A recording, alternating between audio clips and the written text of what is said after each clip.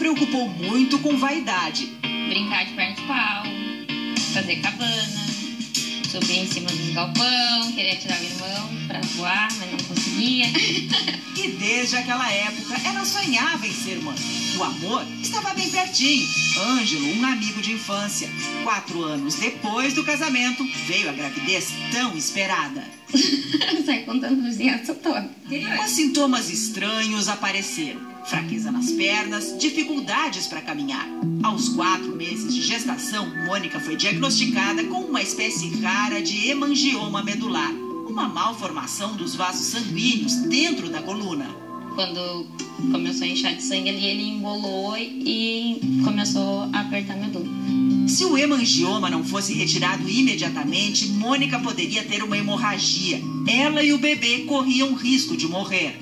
As primeiras roupinhas já tinham até sido compradas, mas o médico recomendou a interrupção da gravidez. Uma decisão que só a Mônica podia tomar. Eu pensei muito nos meus pais. As minhas chances de cirurgia era ficar tetraplégica ou vinha falecer. Eu não tinha muitas chances de vida.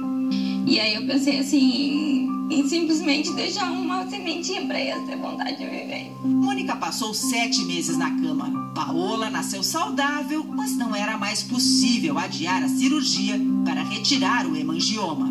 Minha mãe estava aqui, eu entreguei minha filha nos braços dela e disse assim, mãe, tu cuida, porque eu não sei se eu vou conseguir pegar minha filha de novo nos braços. Deu 12 horas de cirurgia e aí, graças a Deus, eu fiquei só paraplégica. Pessoal briga muito comigo. Como tu vive normal? Como é que tu fez tudo com a tua filha? Eu disse, porque eu fiquei só paraplégica. Eu podia ter ficado pior. Eu podia nunca mais pegar ela no colo, mexer com os braços, nada mais. Era uma nova etapa na vida da Mônica. Aprender a ser mãe e cadeirante. Com ela eu consegui dar banho na minha filha. Com ela eu consegui ensinar ela a caminhar, andar de bicicleta, que nem ela diz. Tudo isso, assim tudo na cadeira. O orgulho maior meu é poder fazer parte da vida dela. Que a Mônica é uma guerreira, a gente já sabe. Agora foi só depois da cadeira de rodas que ela descobriu até onde ia essa vontade de lutar. E de um esporte que ela antes não conhecia, vieram ainda mais vitórias. Em quatro anos já são 30 medalhas. Mônica é a primeira brasileira a ganhar ouro em uma competição internacional de esgrima em cadeira de rodas. Tanta determinação mereceu um apelido, Monstrinha. Quando eu pego, fico tiririca de brava, até com os guri. Essa Mônica é uma monstrinha mesmo, que tá ali pra ganhar, independente de quem esteja na tua frente.